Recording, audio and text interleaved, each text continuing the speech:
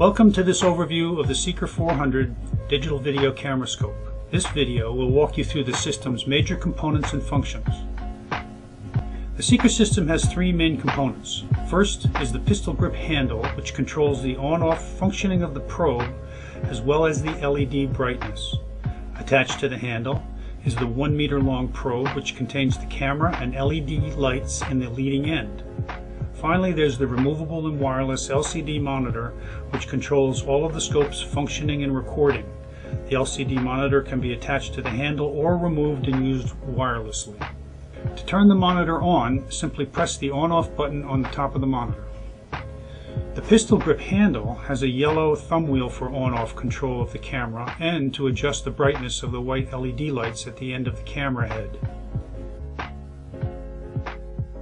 Both the LCD display and the pistol grip handle have internal lithium-ion rechargeable batteries which can be charged separately or in tandem.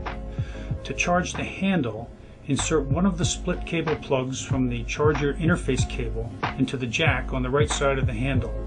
There are two colored LED indicator lights just above the thumb wheel. A green one that glows when the unit is fully charged and a red one that indicates low battery. To charge the monitor, insert the other plug into the right side port displaying the charging symbol. Next to each charger jack is an LED that glows red when the unit is being charged and green when it is fully charged. The Seeker 400 camera scope is supplied already connected to the 1 meter long Obedient probe which has a slim 12 millimeter diameter tip. Available options include 1, 2, and 3 meter long probe extensions of the same diameter. By piggybacking the optional probes, the reach of the Seeker camera can be extended up to 5 meters or 16 feet. The Seeker 400-09 system is supplied with an ultra-slim 9 millimeter diameter probe. Whichever Seeker 400 system you're using, the other probes are available options and are interchangeable with the base unit. Note that the camera head and probe cable are waterproof, as are the extensions, which, if firmly connected, will make the entire probe waterproof. To remove the supplied probe from the handle, turn the collar that connects them in the directions shown on its surface, clockwise, and pull the probe straight out from the handle. To reattach the probe or attach the extensions, reverse the process, making sure that the alignment key at the end of each probe lines up with the flat on its coupling. Tighten the connections by turning the collar counterclockwise. The other main component of the Seeker 400 system is its 3.5 inch diagonal color LCD monitor. Because the monitor can communicate wirelessly with the base unit, it can show what the probe sees even when the two units are located as far apart as 10 meters or 32 feet. When the monitor is attached to the pistol grip handle, the two units communicate via hardwired connections rather than wirelessly. This improves the quality of the still images and video captured by the system. The LCD monitor houses the controls and connections you will use to view, record, and upload your images, as well as charge the unit. To start with, the button on the top right of the unit performs two functions. When it is pushed for one second, it will turn the unit on. When it is pushed and held for 3 plus seconds, it'll turn the unit off. When the unit is on and it is pressed only briefly, it toggles the unit's operating mode between live viewing and recording and that of playback of pictures and videos. On the right side of the LCD display are the jacks needed to plug in the video cable, the USB cable, the charging cable, and the micro SD memory card.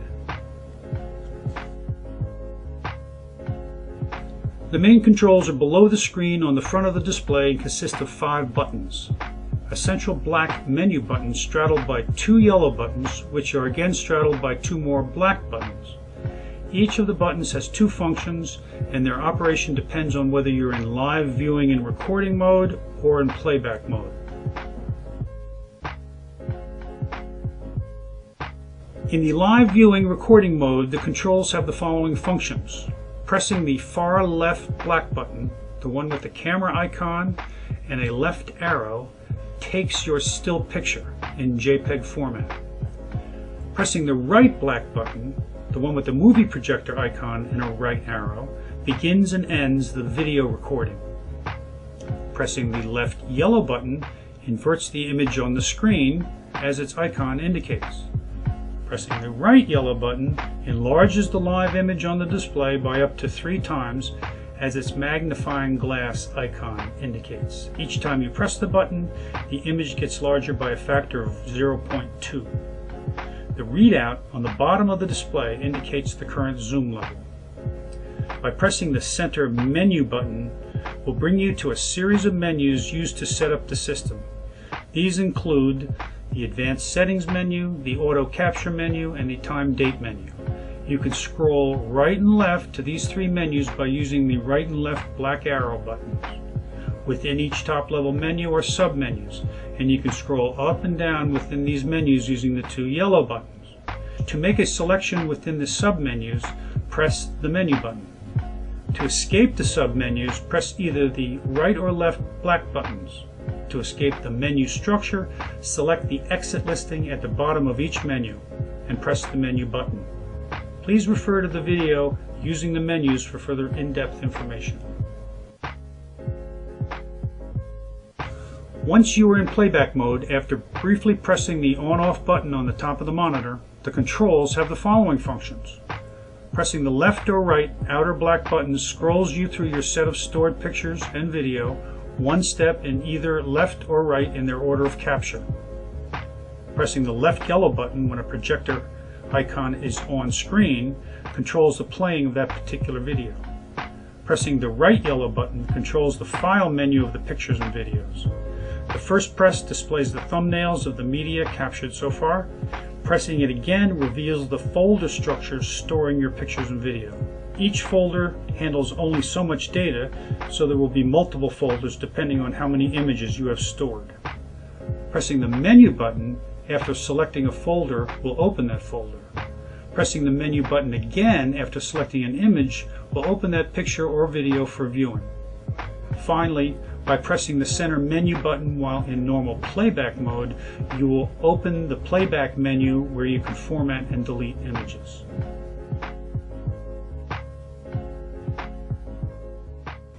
Finally, to shut down the monitor, hold the on-off button down for three or more seconds. To shut down the handle and the probe, rotate the thumb wheel control until it clicks off. We hope that you'll have years of great service from your Seeker 400 video camera scope.